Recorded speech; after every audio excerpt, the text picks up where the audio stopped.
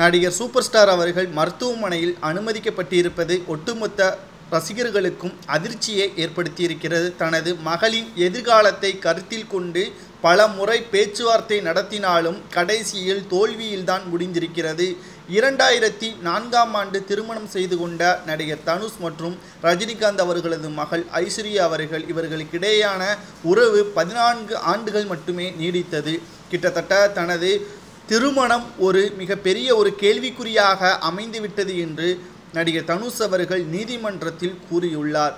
நிச்சயமாக எங்களுக்கு விவாகரத்து வேண்டும். நாங்கள் ஒருபோதும் ஒன்றாக வாழ முடியாது என்பதற்கேற்ப முதலில் அப்பீல் செய்த நடிகர் தனுஷ் அவர்கள் இதற்கு அவரது மனைவி ஐஸ்வர்யா அவர்களும் சம்மதம் தெரிவித்திருக்கிறார். எனது வாழ்வில் மிகப்பெரிய ஒரு கரும்புள்ளி எனது திருமணம்தான் என்றும் எனது தந்தையின் பேச்சை கேட்டு திருமணம் செய்து கொண்டேன்.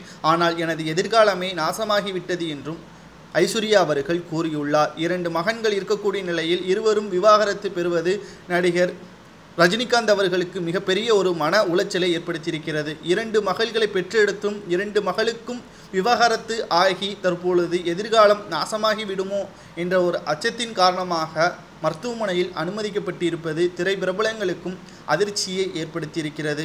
இதனால் தற்பொழுது இந்தியாவில் சூப்பர் ஸ்டாராக இருந்தாலும் வீட்டில் தந்தையாக சரியாக எனது மகளை வளர்க்க தவறிவிட்டேன் என்று அவரது மனைவியிடம் கூறியிருப்பதாக சினிமா வட்டாரங்களில் தற்பொழுது செய்திகள் வெளியாகி கொண்டிருக்கின்றன.